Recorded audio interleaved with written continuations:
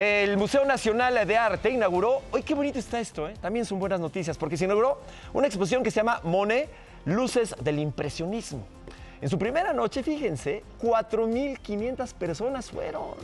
4.000, hay esperanza, caramba.